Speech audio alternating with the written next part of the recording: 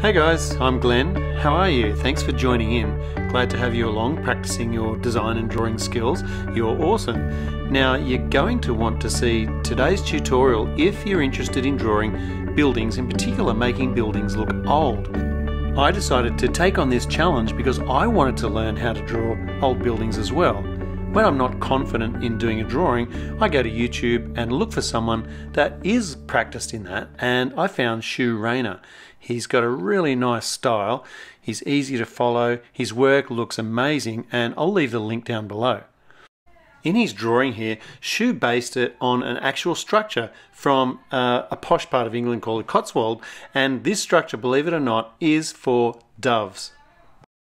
So I've broken the drawing up into three different stages and it's an isometric drawing so it's using the splat angles. And you can see as I slide the splat down, cool, let's go, your starting point about halfway across the page, come up two centimeters and that's your starting point. So we're going to place the splat on the starting point and we're going to draw down one side, the center, and from the left blip down and around as well. I'm going to pause there because we're not drawing a cube. We're going to mark off three centimeters. And by the way, if you've got one of the newer splats, I've marked in black the little centimeter markings. So we could measure off three centimeters, put the point of the splat on your three centimeters, and draw in some more splat or isometric lines. I'm going to now mark off one whole splat length upwards so that was just three lines. Then place the splat again on the end of that line and repeat the same thing. Two lines there and the sides. Great. Here's where we draw in the top of our box. So two more lines towards you. Spin the splat and now we're drawing the two far edges. Line up those corners and draw it in. You don't need to draw the lines all the way to the corners. You won't need to tidy up these lines, leave them nice and light because they're just guidelines. We'll end up erasing most of them anyway. Let's begin our actual drawing with the ridges crossing over at the top. I'm putting a mark halfway along that line and the same thing on that one, halfway on that line and the remaining one. Great, now I'm going to use a rule to connect those points, and that's the ridge lines of the roof. A little metal box on each corner is where we're going to start. They're about half a centimetre roughly, so let's mark off half a centimetre in that direction, and then out the left angle, and we'll go upwards as well. So that's what's going to be my little cube. So I'm drawing the top edges, and then my vertical lines. And for the far edges, spin the splat if you want a help in, um, in getting those angles right. All right, so there's my little box and I'm going to run an, an imaginary line or use the splat to help guide where you find the ones in the other corners. I'm drawing in the little metal box as you'd see from each side they're about half a centimetre as well, so same size. And we're going to connect from the top, that little point at the top down. So from that point, connect to the roof, and the same on the other side. From the ridge of the roof, connect it to the corner of the box. And that's pretty easy. And see how we go on the other side. From the ridge down to the corner of the box, and same again. All right, that's looking great.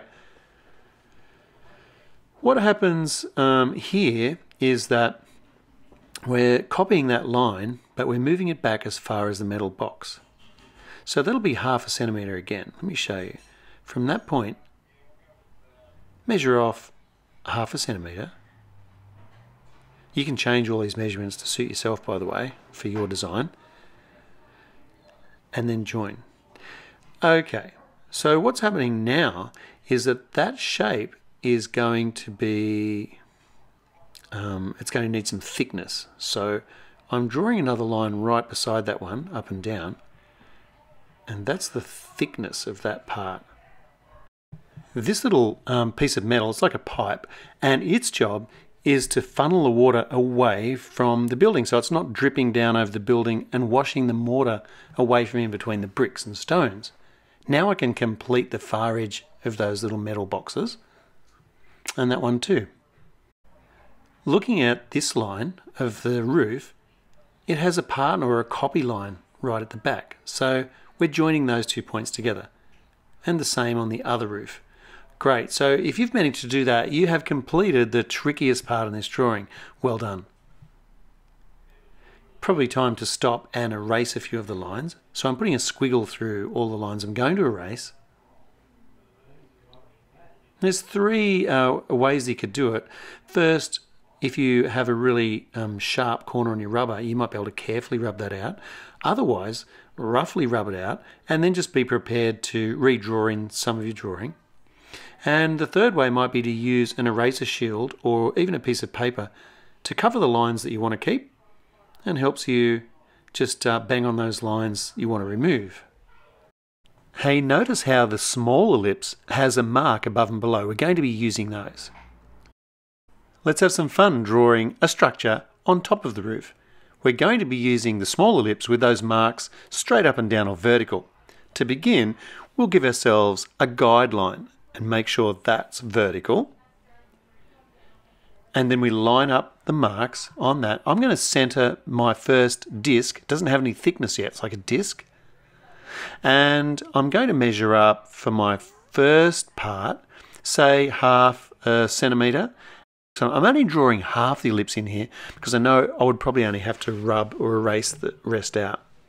Um, where it joins to the roof, you get a funny little shape like that and there's actually some little square openings in that that I draw later that's somewhere else for the doves to fly in and out of. Now this is a part of a cylinder so I've gone up another centimetre and drawn in a cylinder and here's some little arch openings. It's like a little mini um, fancy structure for the doves. And on top, I imagine that bell-shaped piece would be made from uh, some metal of some type, something that doesn't rust. In heavy rain, we want to keep those doves dry. So this ridge capping is a row right on the top of the ridge that makes the rain run down one side or the other. And we draw those in with just some simple lines like that. At the front and the back of the roof, you can see we're drawing a little piece of metal and that keeps all the tiles in place. So that's sort of like our guttering. So the water will run down that metal and into those little collection boxes that we drew on each corner. Where those two shapes join, um, there will be a gap between the tiles. And I'm just running a wiggly line down there to represent that.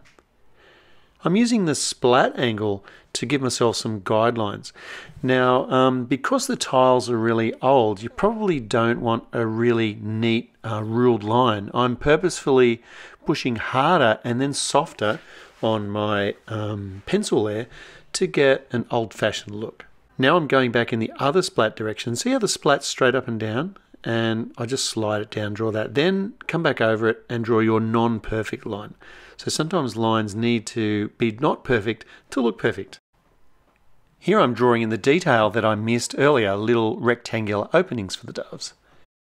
Speaking of doves, I'm having my first go at drawing one of the residents, a dove. So let's draw a head and a little body, pretty much any shape, but it's the little dovetail shaped tail that gives it away. When we add a beak and an eye, we're nearly there. Uh, the wings, when it's landing, sweep right back like that and the tips nearly touch. The top of the wing has a little bump like that. Shoo Rayner has a great tutorial on how to draw doves, so I would encourage you to go over and check that out and see how it's actually done properly. The round window is like a squashed circle that leans over. Let me show you how to do that.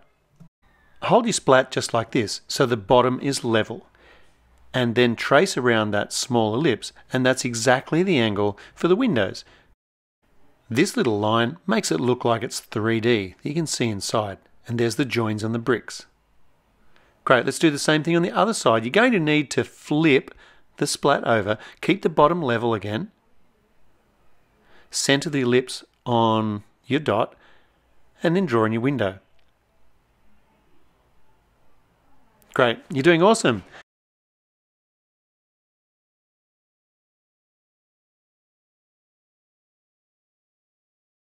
Under the roof is a line of funny shaped bricks.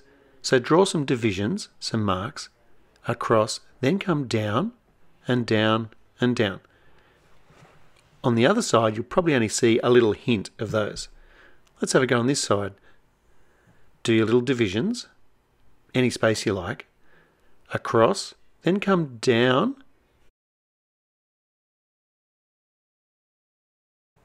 Often on these older buildings, to show some decoration, in the corners we have massive blocks and some are narrow and some are wider. So let's draw one that looks kind of square.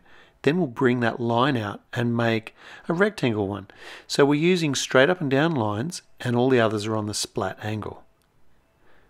So we're going a long and a short and a long and a short. The ends should roughly line up. Now we're going to go to the front. So I'm going to use the splat to line up um, my blocks with the same joins at the back. And then I'm going to look at that. It's a short one, so here I'm going to start off with a long one. And then a short. Let's bring that one out long. Remember those lines on the ends of the blocks are all vertical. I'm bouncing those lines around the corner. And if I've got a long one there, I'll start with a short one on the next side. And that one gets a long block. Can you see how it's working? Just start off drawing this really lightly until you get the idea. Alright, that's certainly looking very old worldy. And on the last corner, there's my divisions. If you didn't get the divisions exactly right, you know, I don't think anyone's really going to notice. All right, let's go back to the practice drawing and see where we're up to. Uh, it looks like these arches are the next thing we need to draw. The arch needs to start on that line and finish on the same line. So come up and around, and then where that point meets the line, we're going to drop a line straight down. Good, so that's an arch opening. Let's do the same thing on the other side. Nice arch up and around. You can change the shape of your arch if you want. Now I'm dropping those two lines down and what I have is uh, it looks like an arch painted on the outside of a container. To make it look 3D those are the lines that we need to use and they're on the splat angle. So find that point, line up your splat and then draw a short line out direction. Now come up but not all the way. The last little bit angles in. Now let's do the same thing on the other side. Find that point, short line, come vertically up, but not all the way, it angles in towards the center. Would you like to add something else? Here's another decorative detail. This is on the guideline that we originally drew three centimeters up. I'm drawing another one parallel, that means like right beside, and the same there. But this one, if you want to, um, bounces around the corner. Like that. Great. Here I'm drawing in the joins of the blocks and the very bottom. I'm using the splat to get the angles. Do it really, really lightly. I actually like my drawing before I drew this detail in for some reason. To make it look like it's sitting on the ground, add a few little grass lines at the base. And of course, let's set the scene a little bit. Shoo has um, drawn a sheep, and I'm trying my best to copy a sheepy kind of look. To make this building look a bit old and weathered, we need to get rid of those straight lines. So I'm going to go over it and leave a little gap here and there. Sometimes there's gaps where the blocks join, sometimes there's little chips out of them. This is called the cutting line. Go right around your drawing with a darker line, makes it really stand out. The roof gets a special dark line too because it's overlapping part of the roof behind it. Here's where the, um, the edge of the field is.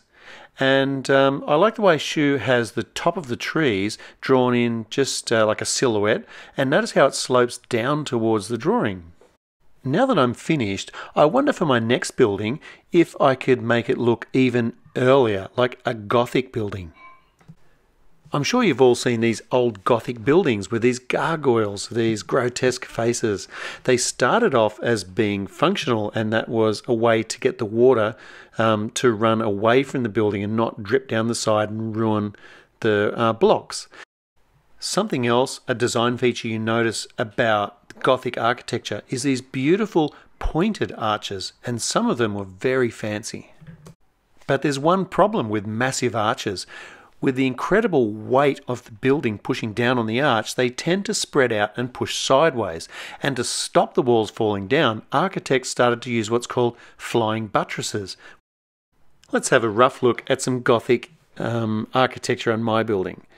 We could have maybe a puppy dog gargoyle in one corner, and in this corner is a kangaroo gargoyle. That's where the, so the water comes out through the mouth.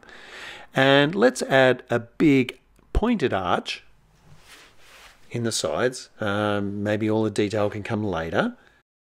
Now let's imagine for a second to stop those walls from spreading outwards, let's build some big heavy stone structures each side and then we join them with some stone that's flying out, so flying buttresses.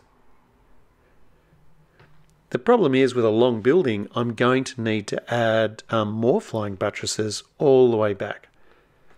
So it actually became um, quite beautiful. Notre Dame and lots of cathedrals and old buildings have them.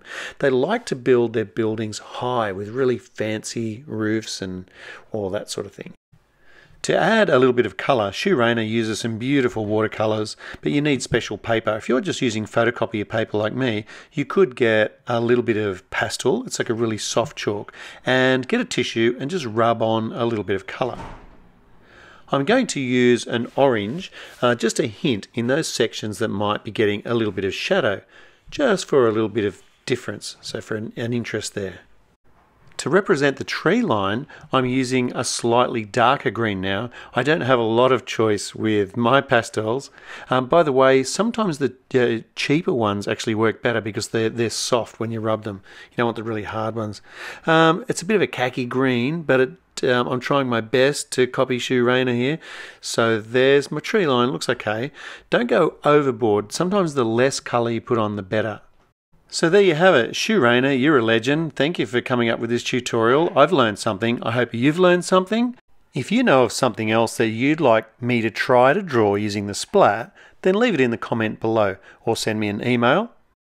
I'm Glenn. Thanks very much for watching. Bye.